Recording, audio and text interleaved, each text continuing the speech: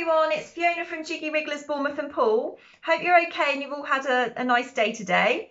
So I'm here this evening to read you your bedtime story and tonight we are going to read What the Ladybird Heard. So have you got your pyjamas on and you've brushed your teeth and you've got your snugglies, so I hope you're all settled down, ready to listen. So get comfy and we'll start our story. Once upon a farm lived a fat red hen, a duck in a pond, and a goose in a pen, a woolly sheep, a hairy hog, a handsome horse, and a dainty dog, a cat that meowed, and a cat that purred, a fine prize cow, and a ladybird. Can we see the ladybird in that picture? Oh, look, tiny ladybird just on the leaf there. Do you see her?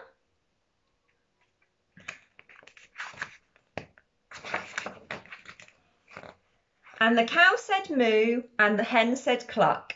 Hiss, said the goose, and quack, said the duck. Neigh, said the horse. Oink, said the hog.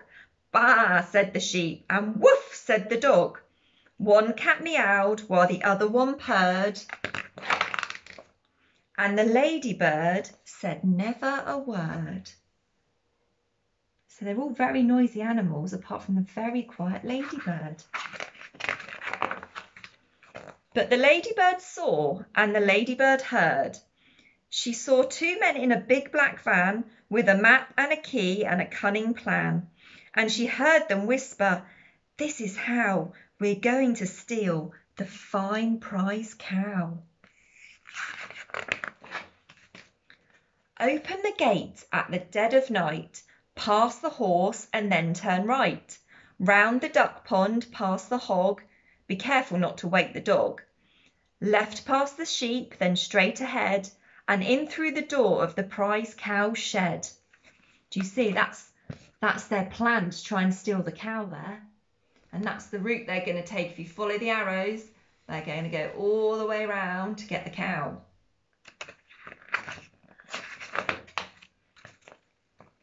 And the little spotty ladybird, who never before had said a word, told the animals, this is how two thieves are planning to steal the cow.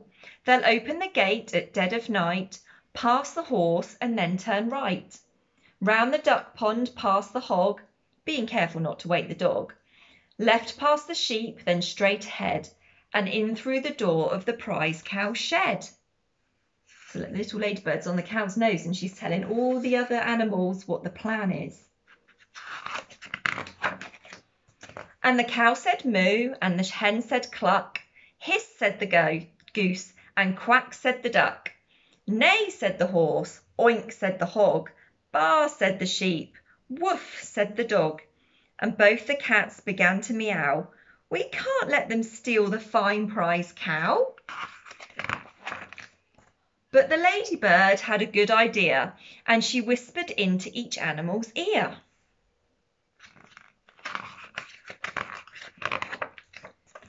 At dead of night the two bad men, Hefty Hugh and Lanky Len, opened the gate while the farmer slept, and tiptoe into the farm they crept. Then the goose said, Neigh, with all her might, and Len said, That's the horse, turn right. And the dainty dog began to quack. The duck said, Hugh, we're right on track. Oink, said the cats. There goes the hog. Be careful not to wake the dog. Baa, baa, baa, said the fat red hen. The sheep, we're nearly there, said Len. Then the duck on the pond said, Moo, moo, moo. Two more steps to go, said Hugh. And they both stepped into the duck pond. Splosh! See that they've fallen into the pond because all the animals have tricked them and they've gone the wrong way. And the farmer woke and said, Golly gosh! And he called the cops and they came, Nina! And they threw the thieves into their panda car. Then the cow said moo and the hen said cluck. Hiss, said the goose, and quack, said the duck. Neigh, said the horse. Oink, said the hog. Baa, said the sheep, and woof, said the dog. And the farmer cheered, and both cats heard, purred, but the ladybird said never a word. She is, look, back on her leaf. And there they all are in the farm. Do you see that's the farm where they all live? So the ladybird came up with a really good plan, didn't she? So the prize cow didn't get stolen. So that was good. So that was a lovely book, wasn't it? A nice story for you all to listen to.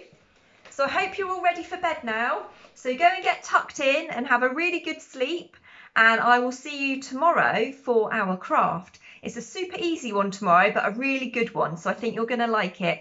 And you're going to be able to use this craft for two different things. So you're going to be able to use it on Friday in Louisa's session, and also it's something you're going to be able to use at night when you're in your bedrooms. Okay.